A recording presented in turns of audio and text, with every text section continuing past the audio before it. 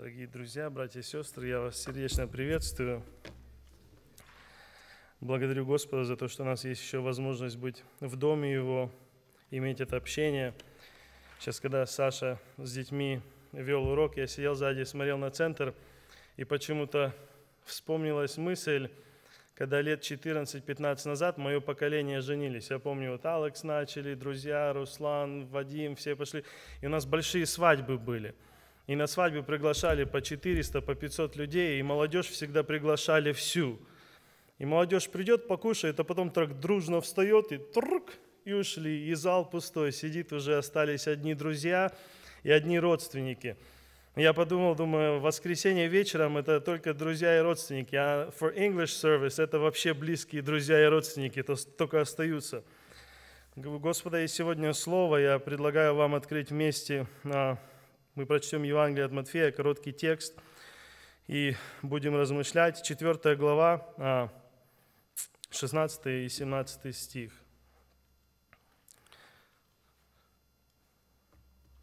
Народ, сидящий во тьме, увидел свет великий, и сидящим в стране и тени смертной воссиял свет.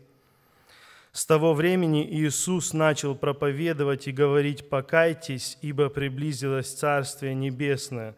Друзья, это в кавычках слова Иисуса Христа. Repent, for the kingdom of heaven has come. Если мы выше читаем эту главу, мы вспоминаем, когда Христос вышел на служение, после того, как Он крестился, Он Духом Святым был поведен в пустыню для испытания, для искушения. 40 дней Он был в посте, и мы помним, как дьявол подошел к Нему – и искушая, когда, я думаю, ему как человеку хотелось кушать, он предложил ему хлеб. Он, он сказал, преврати камни в хлеб, ты можешь это сделать. Мы знаем, что Христос сказал, не хлебом единым будет жив человек. Потом дьявол не сдается, он берет его, ставит на крыло храма, на возвышенность, написано the highest corner of the temple, right? He picks him up, ставит туда и говорит, сбросься вниз, и ангелы тебя подберут. Он говорит, не искушай Господа Бога твоего. Потом дьявол берет Христа и ставит его на высокую гору и показывает ему весь мир, показывает ему все прелести, говорит, поклонись мне, поклонись, все твое. И мы знаем, что Христос говорит, отойди от меня.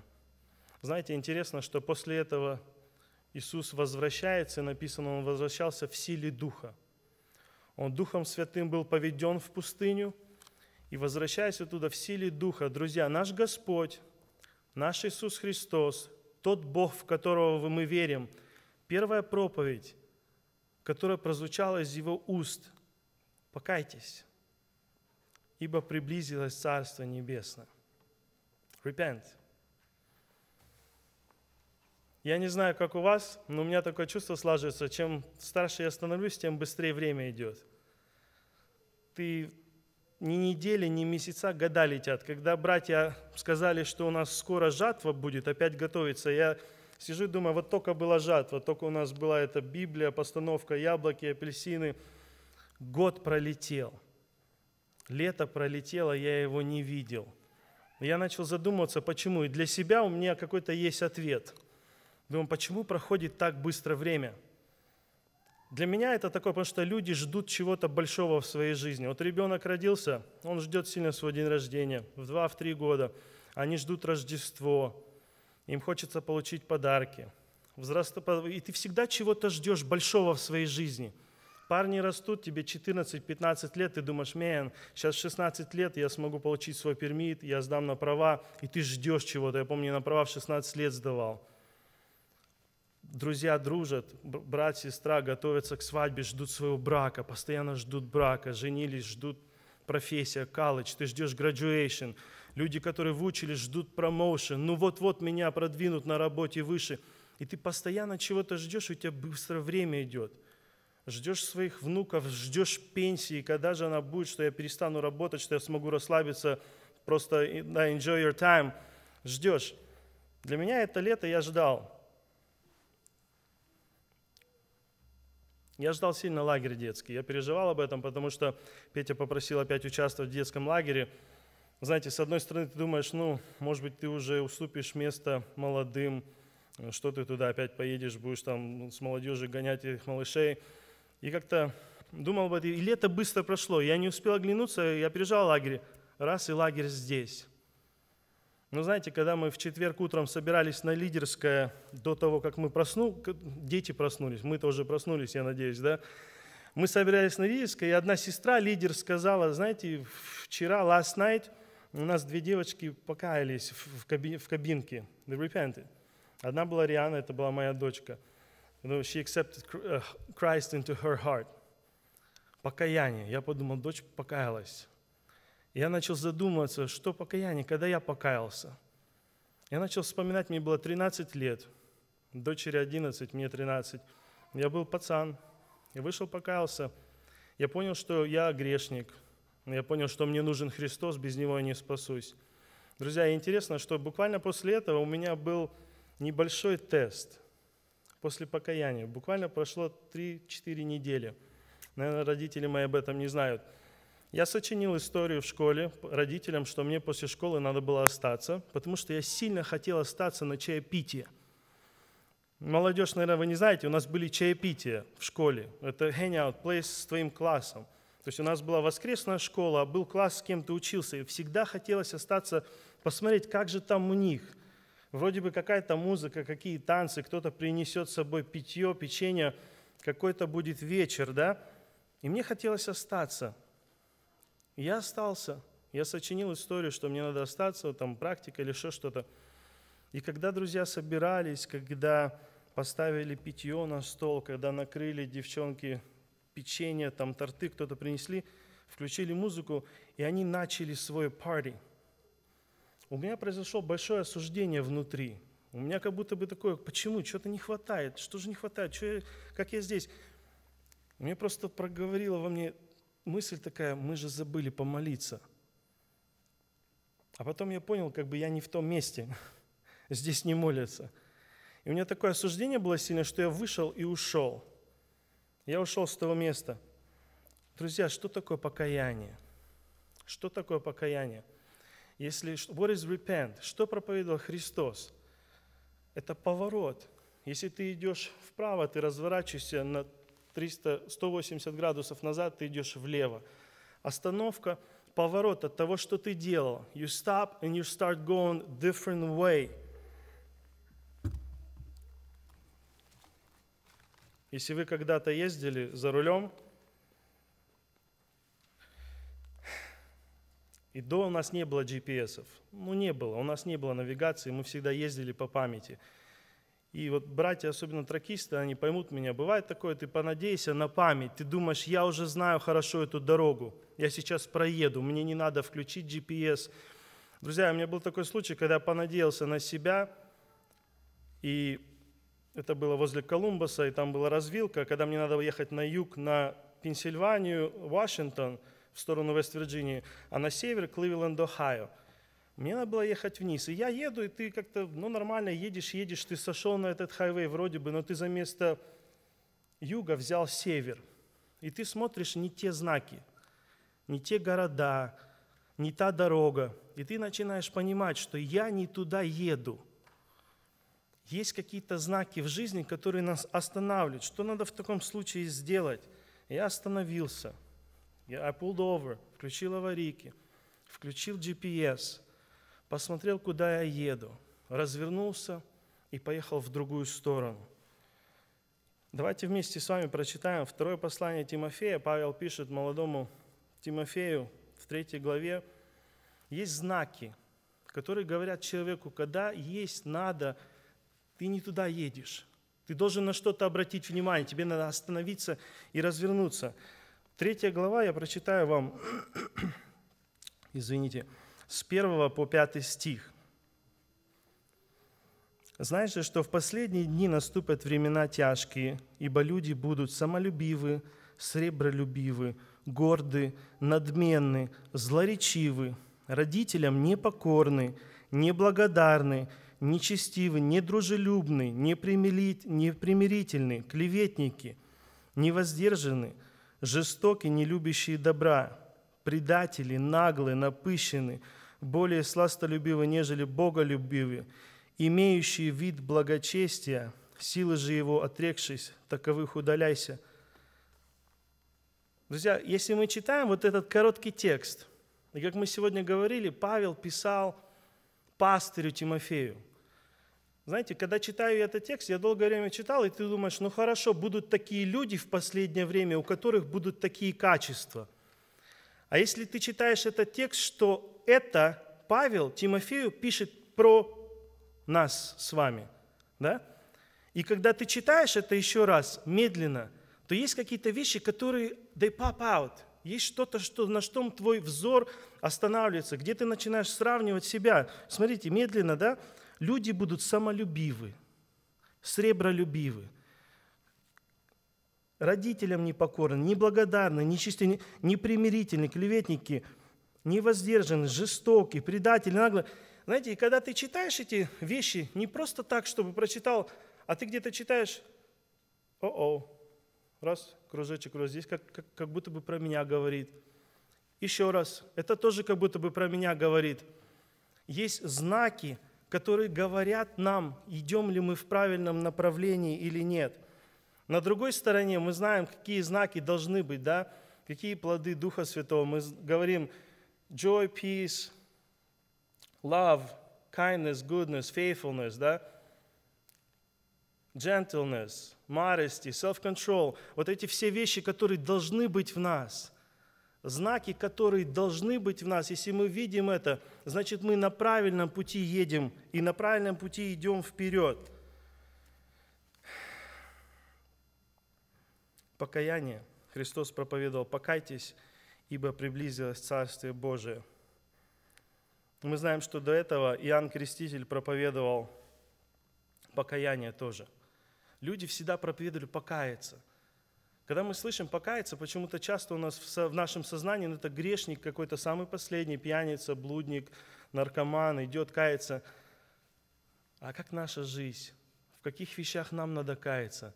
Где нам надо видеть в себя – когда мы последний раз молились перед Богом со слезами на глазах, сокрушаясь, говорит, Господи, я виноват в этом, или я виноват в другом. Знаете, рассказывали, когда пастор призвал к покаянию, и мальчишка молодой шел по проходу и плакал, он хлюпал, он подошел к нему, обнял его, что такое, что случилось? Он говорит, я маму свою обидел, обманул маме. И многие заулыбались, ну, big deal, ну, обманул, обманул маме. Он шел с покаянием, он шел, хотел покаяться в этом. Помните, когда Иоанн говорил, сотворите достойный плод покаяния? Друзья, покаяние – это не тогда, когда все пошли каяться, и я пошел. Почему? Ну, потому что так как бы все пошли, и я пошел каяться. Но когда Иоанн Креститель крестил, написано, к нему шла толпа креститься. И там же были и фарисеи, и саддукеи, которые пришли тоже хотели креститься от него. Почему? Ну, потому что это так вот было, это вроде бы как нормально. Все идут креститься, а почему нам не идти креститься? Искреннее покаяние, когда Дух Святой касается твоего сердца, когда ты осознаешь, что ты грешник, когда ты поворачиваешься, шел в одну сторону, остановился, шаг назад, посмотрел, сравнил с Словом Божьим, ты включил этот GPS духовный, говорит, слушай, не туда, и идешь назад. Знаете, недавно слушал свидетельство Ник Воидж, это тот парень, который без рук, без ног родился. Вы слышали, наверное, много о нем знаете. Миссионер, он говорит, мы недавно были в Украине. И говорит, такое благословенное служение было. Вышли на улицы сотни тысяч. Он номер сказал просто ошеломительный. Там или 500, или 600 тысяч людей вышли в Киеве на служение, на евангелизацию. И в конце он сказал, что около 200 тысяч людей отдали свое сердце Богу. И ты думаешь, ну, слава Богу, если 200 тысяч людей пришли к Богу. Но это не так. Не все эти люди совершили достойный плод покаяния. Ну, вышли, все пошли каяться, мы пришли на евангелизацию. Будет конференция скоро. Этот Дух Святой обличает, касается в этих вещах, где ты видишь себя, hey, I'm wrong in this, I'm wrong in that, и ты, ты имеешь покаяние –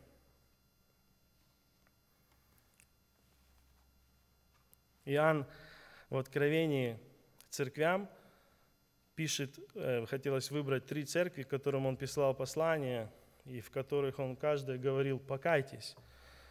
И посмотреть на них вкратце, друзья, первое мы посмотрим, это послание к Ефесской церкви, это написано в Откровении, вторая глава, третий, четвертый и пятый. Смотрите, он пишет, знаю твои дела и труд твой, и терпение твое, и то, что ты не можешь сносить развратных и испытных тех, которые называют себя апостолами, а, а они не таковы, и нашел, что не лжецы.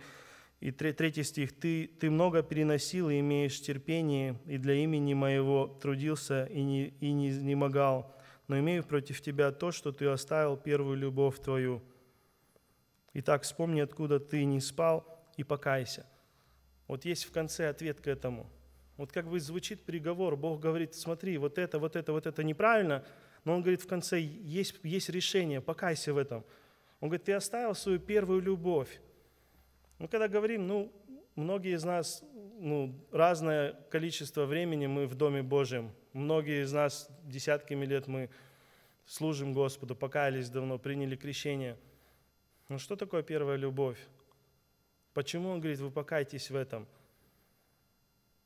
Это не тогда, когда ты почитал Библию и поставил чекмарк, ну все, я прочитал сегодня, right, I'm done, I could put it away, все – это не просто, когда ты пришел в воскресенье сюда. Ну почему? Ну потому что папа с мамой смотрят. Ну потому что я хочу увидеть этого брата или увидеть моих друзей, или сестру увидеть какую-то. Нет, это когда ты имеешь первую любовь, когда чувства твои, ты хочешь иметь общение с Богом, ты хочешь любить, ты хочешь творить вот эти дела, которые мы сегодня слышали, не сезонный христианин, как сегодня говорили, а это постоянно наполнено тобой. Ты хочешь иметь общение с Богом постоянное – а один мне близкий, знакомый человек говорил, знаешь, когда с девушкой встречались и переписывались друг другу, писали смс -ки. Вот. И сейчас кто постарше поймут меня. Раньше мы, когда отсылали смс, это стоило 10 центов отослать и 2 цента получить. И у них вот, они любят друг друга, переписываются, так все пошло. И он отослал девушке Вирджинию 600 текст-месседжей в месяц, а назад получил больше 2000 первая любовь. А потом папа ее получил, бил за телефон, и отношения закончились, потому что это was hundreds of dollars. Ты хочешь постоянно общаться с Богом. Ты хочешь иметь контакт. Ты проснулся, ты открыл глаза, ты хочешь сказать, Господи, я здесь. Что ты хочешь, чтобы я сегодня сделал? Не веди меня сегодня во искушение, помоги прожить этот день достойно, свято, чисто. Ты имеешь отношение с Богом. На этой неделе разговаривал с другом своим по фейстайму, с Майкопа. Он говорит, Тима, знаешь, сейчас больше и больше начинаю понимать слово вместо в Библии, где написано по причине умножения беззакония во многих охладеет любовь. Беззаконие умножается больше и больше, и любовь охладевает. Любовь – это не только слова. Мы знаем, что любовь – это дело, это действие, что Господь доказал нам любовь делом своим. Что я делаю – как я тружусь, как я посещаю Дом Божий, в служении, в каком я пребываю, быть постоянным в том служении. Он говорит, я имею против тебя, что ты оставил первую свою любовь. You're not who you are right now, who you were before. И есть solution, он говорит, repent, покайся этой церкви. В другой церкви он пишет, Сардийская, это третья глава Откровения, да, и он пишет, в первом стихе.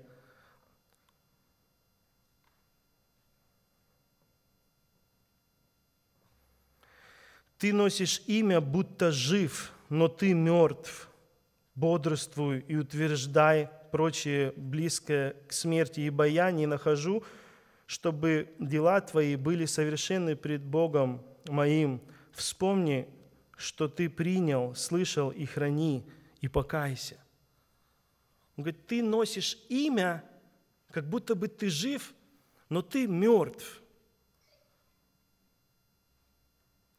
Есть в чем каяться, друзья, потому что население нашей страны, все христиане, имя, лейбл, знаете, как вот этикетка, приклеили, вот, христианин, ходишь, у тебя футболка христианин, в детском лагере у тебя футболки все христианин, на общении каком-то, а в школе – а в колледже, а на работе, а люди, люди с теми, с кем ты сталкиваешься, не только имя, ты носишь имя, что ты жив, говорит, но ты мертв. Друзья, это есть выход, слава Богу, и из этой проблемы он говорит, покайся. почему мы часто думаем, знаете, христианство, особенно сейчас, вот в эти дни, наблюдая, слушая некоторые американские э, проповедников, следя за жизнью в этой стране духовной, христианство превращается в либерализм. Все можно, все допустимо, лишь бы церковь была, лишь бы были пожертвования.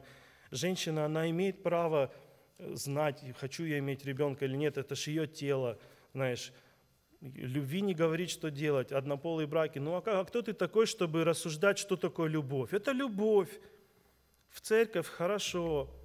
Жизнь до брака, ну даже не касаются многие это, не говорят. Все такое либеральное. Когда христиане, это, это, это искреннее христианство, это, можно сказать, это радикально.